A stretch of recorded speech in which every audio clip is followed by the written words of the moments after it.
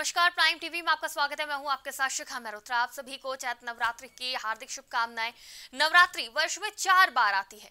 माघ, चैत्र, आषाढ़ और अश्विन।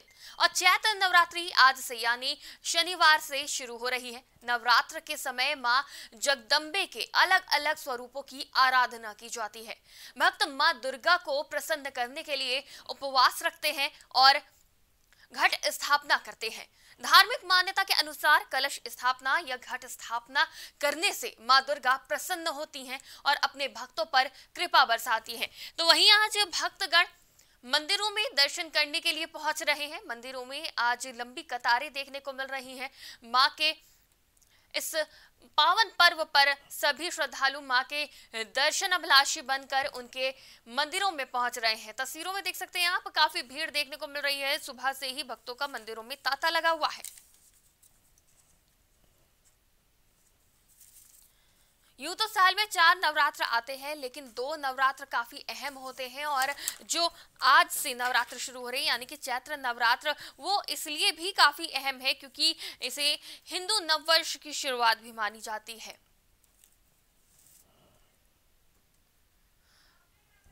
चैत्र नवरात्र की शुरुआत आज से हो गई है, नौ दिनों तक ये पर्व चलेगा। नौ दिन और रात पूरे समय भक्त भक्ति में डूबे रहेंगे। माँ की पूजा, आराधना करेंगे। कुछ लोग नवरात्र के समय जगराता भी कराते हैं पूरी रात जाग कर माँ की पूजा अर्चना करते हैं, मंदिरों में लंबी कतारें होती हैं।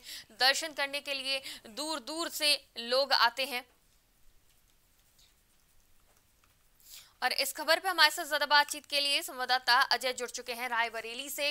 रायबरेली में कैसा माहौल देखने को मिल रहा है अजय? क्योंकि आज से नवरात्र शुरू हो गए हैं। भक्तों की लंबी कतारें हर मंदिर में देखने को मिल रही है। रायबरेली में कैसा नज़ारा है?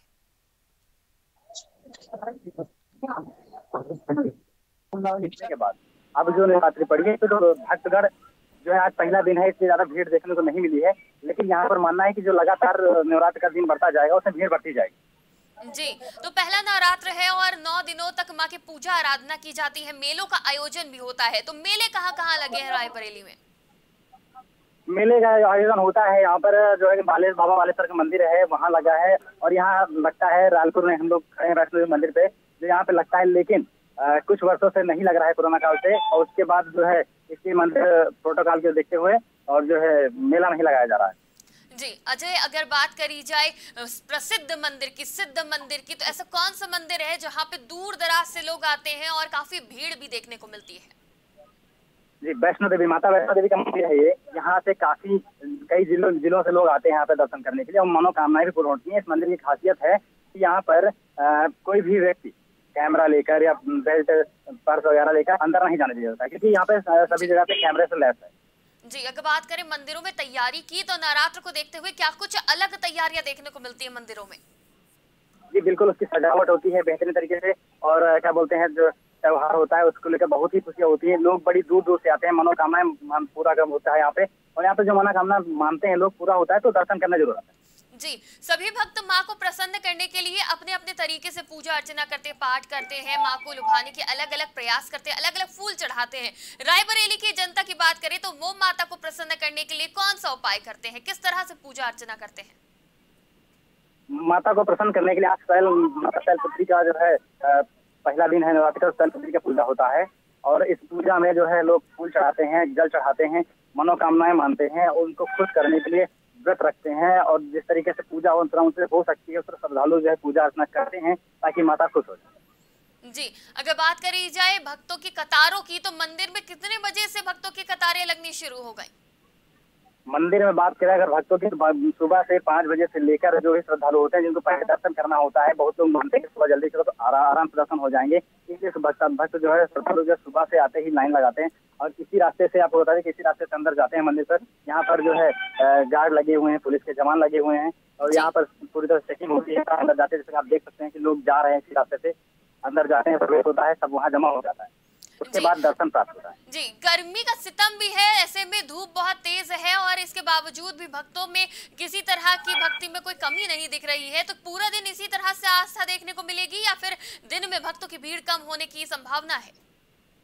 अगर आस्था की बात की जाए तो लोग अगर भक्त हैं तो बिल्कुल आएँगे सारा दिन क्या जितना दिन नवरात्र चलेगा पूरा नवरात्र आएँगे चाहे धूप हो चाहे छाव अगर भक्त हैं भक्त तो ज़रूर आएँगे।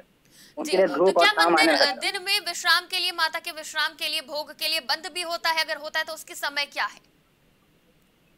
उसकी समय बारह बजे है। जो बारह बजे का मंदिर बंद होता है आधे घंटे के लिए माता को भोजन के लिए उसका धुलाई वुलाई होती है वहाँ पे साफ़ सुथरा किया जाता है उसको। उसके बाद मंदिर के कपाट फिर से खोला जाता है। जी अगर बात करी जाए फूलों की और प्रसाद की तो उसकी क्या व्यवस्था मंदिरों पे देखने को मिल रही है? क्या वहीं से भक्तजन ले सकते हैं या फिर घरों से लेकर आते हैं भक्तजन प्रसाद और फूल? कुछ लोग जो है अपने घर से लेके आते हैं और उसके बाद यहाँ पर बगल में है, शॉप भी है, फूल माला की और जो है फल की और प्रसाद की यहीं से लोग भी ले लेते हैं। कुछ लोग ऐसा होता है कि वहाँ चल के ले लेंगे। तो इसलिए यहाँ से भक्त ले लेते हैं। जी अच्छा हम चाहेंगे कि अगर कोई आपके आसपास हो तो उनसे जानने की कोशिश करिए कि आज पहला दिन है और पहले ही दिन जब दर्शन के लिए इतनी भीड़ उमड़ रही है और आने वाले दिनों में ये भीड़ और बढ़ने की संभावना है तो क्या भक्त दोबारा यानी कि नौ दिनों तक मंदिर आना चाहेंगे या फिर एक बार ही दर्शन करके अपने मन को शांत कर लेंगे? जी मेरे साथ एक भाई साहब मौजूद है मैं इनसे पूछना चाहूँगा की क्या जो मंदिर है पहला दिन है नवरात्र का ये आए हैं यहाँ पर आए इनसे बात करते हैं। अपना परिचय दे दीजिए। हम यही ढाल तो नहीं देते आप बताइए आज पहला दिन है नवरात्र का। आप जो माता जी से आज जो कोई मनोकामना मांगेंगे क्या आज पहली बार आएँगे या लगातार आते रहेंगे? नहीं हमको लगातार आते जाते और आते जाते रहेंगे। यहाँ सारी मनोकामना पूरी होती है चले आते जैसा कि आपने देखा कि इन्होंने बताया कि जो है पहला दिन है आज लगा आज पहले दिन आए हैं लेकिन उसके बाद भी लगातार आते रहेंगे क्योंकि इनके अंदर आस्था है। जी अगर मंदिर की भव्यता की बात करें और लोगों में विश्वास की बात करें तो कितनी आस्था देखने को मिलती है? क्या सभी मनोकामना पूरी हो जाती? क्या यही वजह है जो लोग दूर दूर से इस मंदिर में आते हैं? जी हम इसी इस हिस्से पे बात करेंगे। आप इस मंदिर में आते हैं दर्शन करने के लिए। क्या आपको लगता है कि इस मंदिर में आस्था जो है आप मानते हैं? वो पूरा होता है? हाँ पूरा होता है। ठीक है। आप इस मंदिर में जो मनोकामना होती है वो पूरा हो जाता है उसके बाद श्रद्धालु आते हैं कि हम आते हैं? हमेशा आते हैं। जैसा कि आपने देखा अभी इन्होंने कहा कि जो है आस्था जो भी मांगो आस्था पूर्ण होता है इसलिए उनको आना ही यहाँ पे संभवता होना भी चाहिए और आते भी लोग। जी अजय अगर मंदिरों की बात करें तो काफ़ी भीड़ देखने को मिलती है लेकिन जहाँ आप मौजूद हैं वहाँ नवरात्र के समय एक दिन में कम से कम कितने श्रद्धालु पहुँचते हैं दर्शन करने के लिए? यहाँ पर एक दिन में मान के चलिए कुछ नहीं तो यहाँ पे बहुत काफ़ी मतलब बताया कि काफ़ी जिलों से लोग आते हैं तो आप मान के चलिए कि कुछ नहीं तो हज़ार दो हज़ार के आसपास श्रद्धालु आते हैं यहाँ पे। जी बिल्कुल, बहुत बहुत शुक्रिया हमारे साथ जुड़ने के लिए, तमाम बातचीत के लिए। इस खबर पर हमारे साथ संवाददाता अजय प्रताप सिंह जुड़े थे रायबरेली से। तो अलग अलग जिलों में माता का आज जिस तरह से नवरात्र की पूजा अर्चना करी जा रही है और भक्तों को जिस तरह से मंदिर के मंदिर के लिए निकल रहे हैं, वो चाहे कितनी भी गर्मी हो, लेकिन भक्तों में आस्था देखने को मिल रही है। भक्त लंबी कतारों में लगे हैं।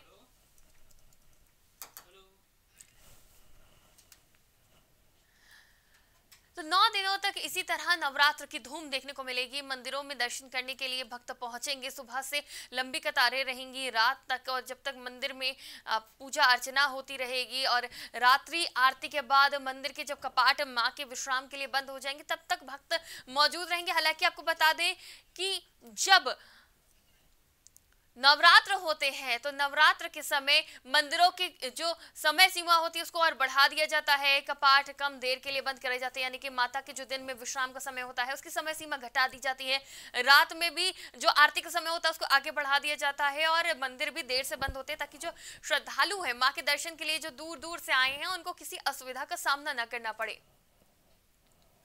तो वहीं सुरक्षा व्यवस्था के भी खास इंतज़ाम किए जाते हैं, क्योंकि माँ के दर्शन के लिए जब भक्तों की काफ़ी भीड़ होती है तो वहाँ पे कोई अप्रिय घटना ना घटित हो, सुगमता से लोग दर्शन कर सके और किसी परेशानी का सामना न करना पड़े। इसलिए भक्त मौजूद रहते हैं मंदिरों में तो साथ ही सुरक्षा व्यवस्था के भी काफ़ी इंतज़ाम किए जाते हैं। पुलिस प्रशासन को भी अलर्ट मोड पर रखा जाता है। साथ ही उनकी चेकिंग करके अंदर भेजा जाता है मेटल डिटेक्टर भी लगाया जाता है, तमाम सुरक्षा व्यवस्था देखने को मिलती है। अगर बात करें कोरोना काल की तो उसको देखते हुए भी सोशल डिस्टेंसिंग का पालन कराने की पूरी कोशिश की जाती है। और आज नवरात्र का पहला दिन है, और ऐसा माना जा रहा है कि जो नवरात्र के नौ दिन है जैसे जैसे ये दिन आगे बढ़ेंगे, भक्त और दूर दूर से आएँगे, यानी कि मंदिरों में और भीड़ बढ़ेगी। अपनी अपनी मान्यता होती है। हर एक मंदिर की अलग अलग मान्यता है और भक्तों में आस्था भी है, जिसकी वजह से भीड़ देखने को मिलती है और श्रद्धालु मंदिरों में पहुँचते हैं। माँ को प्रसन्न करने के लिए नारियल, फूल, धूप चढ़ावा, प्रसाद सब चढ़ाते हैं और माँ को प्रसन्न करने के लिए पूरी कोशिश करते हैं। इसमें माँ का सोलह श्रृंगार भी होता है, चुनरी भी होती है और तमाम चीज़ों के साथ भक्त पहुँचते हैं, प्रसाद लेकर पहुँचते हैं। वस्त्र चढ़ाते हैं और कुछ श्रद्धालु ऐसे भी होते हैं जो काफ़ी दान पुण्य करना भी सही समझते हैं। नवरात्र के समय मंदिरों में काफ़ी दान पुण्य भी किया जाता है, भक्तों को भोजन कराया जाता है। कई चीज़ें हैं जिसको जो नवरात्र के समय में कुछ अलग देखने को मिलती है मंदिरों में। मंदिरों में भक्तों का तांता लगेगा, इस बात को ध्यान में रखते हुए मंदिर के जो रख रखाव करने वाले हैं, जो जिम्मेदार व्यक्ति हैं, वो काफ़ी तैयारियाँ भी करते हैं। वो चाहे साज सज्जा की हो रंगाई पुताई हो, या फिर स्वच्छता का ध्यान हो तो भक्तों के लिए सभी चीज़ों का ध्यान रखा जाता है। कोई असुविधा का सामना न करना पड़े। एक पंक्ति में लगकर सभी भक्तगण आराम से दर्शन कर ले, प्रसाद चढ़ाने में भी दिक्कत ना हो। तो इन तमाम चीज़ों का ध्यान रखा जाता है। कोरोना काल की वजह से दो साल से मंदिरों में भक्तों की भीड़ नहीं लगी। पहला जब कोरोना काल था, जब आगमन हुआ था दो हज़ार उन्नीस में, कोरोना का तो होली का ही समय था और होली के बाद ही जिस तरह से कोरोना के मामले बढ़ गए थे तो उस वक्त मंदिरों को एकदम बंद कर दिया गया था। न ही मेलों का आयोजन हुआ था तो भक्तों को दो साल काफ़ी परेशानियों का सामना करना पड़ा है। अब जिस तरह से कोरोना के मामलों में कमी आई है, उसको देखते हुए अब मंदिरों एक बार फिर से भक्तों के लिए खुल गए हैं। नवरात्र के समय वही धूम देखने को मिलेगी जो कोरोना से पहले देखने को मिलती थी। मेलों का आयोजन भी हो रहा है। बड़े बच्चे, बूढ़े सभी श्रद्धा भाव से मंदिर के दर्शन के लिए, मंदिर में माता के दर्शन के लिए जा रहे हैं और माँ से दुआ कर रहे हैं कि सब तरफ़ सुख शांति बनी रहे अच्छा स्वास्थ्य रहे, जो भी सब दुख परेशानी है, उनका सामना ना करना पड़े किसी को, क्योंकि कोरोना जैसे प्रकोप देखने को मिला है। उस कोरोना प्रकोप की वजह से लोग काफ़ी प्रभावित भी हुए हैं।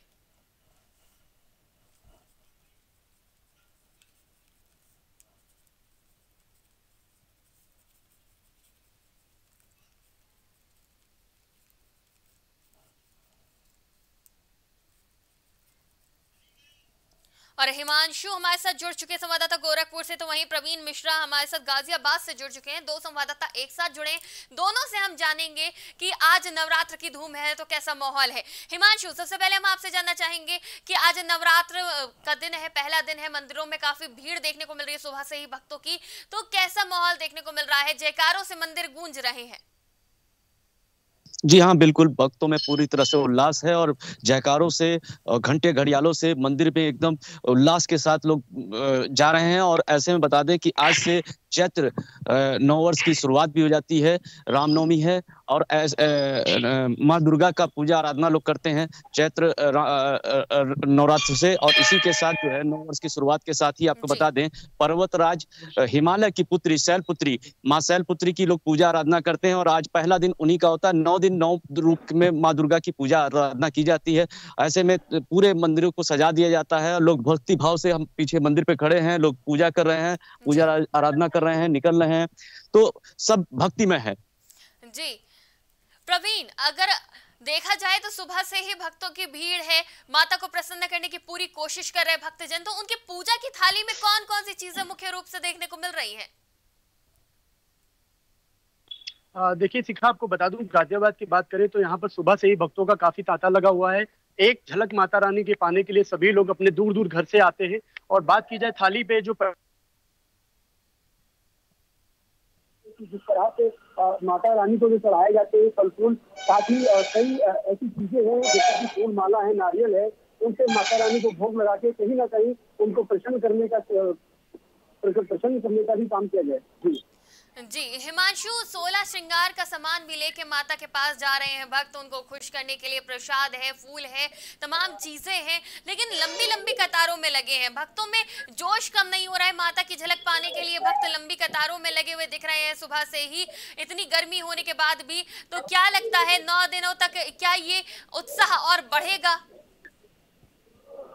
जी, बिल्कुल, उत्साह एकदम बढ़ेगा, लोगों में नौ दिन तक भीड़ बढ़ती ही जाएगी, लोग पूजा करते रहेंगे, रोज सुबह से और शाम को पूरा पूजा आराधना करते हैं, लोग व्रत रहते हैं और कपूर, धूप, बत्ती इत्यादि से माँ को और सोलह श्रृंगार के साथ ही पूजा आराधना करते हैं, उन्हें प्रसन्न करने की कोशिश करते हैं कि माँ के नौ रूपों को प्रसन्न किया जाए। जी, प्रवीण, अगर सुरक्षा व्यवस्था की बात करी जाए तो भक्तों की काफ़ी भीड़ होती है, ऐसे में प्रशासन भी अलर्ट मोड पे रहता है, मंदिरों में कैसी सुरक्षा व्यवस्था देखने को मिल रही गाजियाबाद में?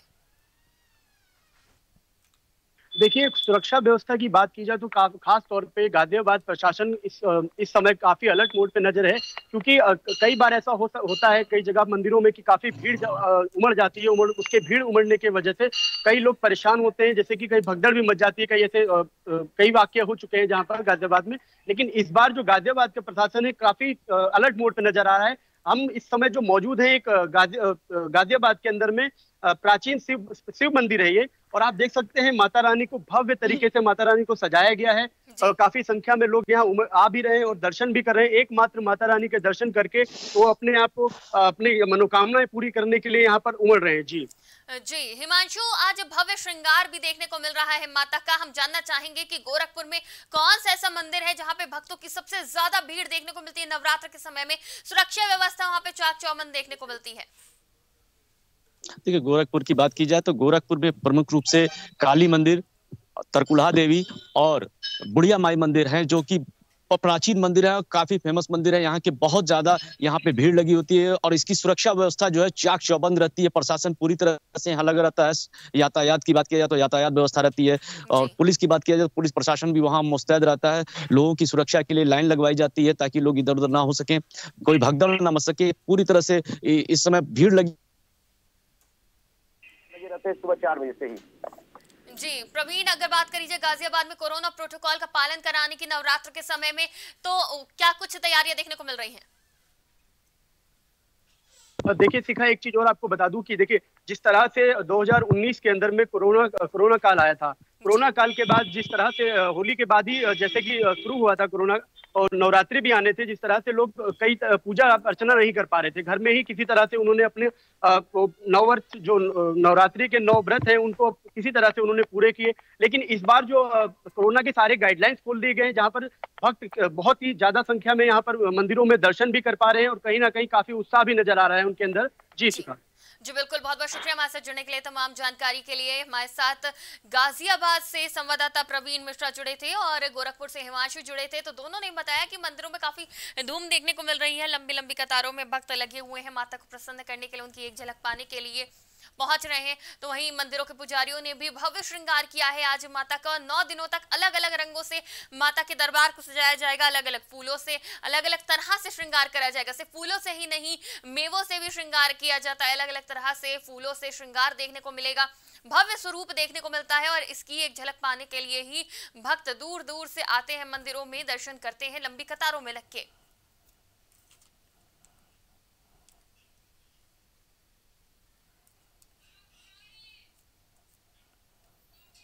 अब आपको सीधे लेके चलते सिद्धार्थनगर जहाँ पे सीएम योगी मौजूद हैं और संचारी रोग नियंत्रण अभियान चल रहा है, जिसके संबंध में लोगों को संबोधित कर रहे हैं। हर उस व्यक्ति तक शासन की योजनाओं का लाभ पहुँचे, ये हमारा प्रयास होना चाहिए। और भाइयों बहनों, हमारा प्रयास होना चाहिए कि हम कहीं भी गंदगी ना होने दें। याद रखना, स्वच्छता इसका अभियान का हिस्सा है। मच्छर पर गंदगी होगी तो मच्छर पैदा होंगे। मच्छर होंगे, मलेरिया होगा इंसेप्लाइटिस होगा, डेंगू होगा, कालाजार होगा, चिकनगुनिया होगा। और इसलिए हमारा प्रयास होना चाहिए, गंदगी न हो, जल जमाव न हो, कहीं भी ऐसी स्थिति न हो, जिसके कारण किसी भी प्रकार के मच्छर या अन्य ऐसे बैक्टीरिया को पैदा होने का अवसर मिले, जो तमाम प्रकार की बीमारियों का कारक बने और फिर निर्दोष लोगों के जीवन को लीलने का कार्य करे।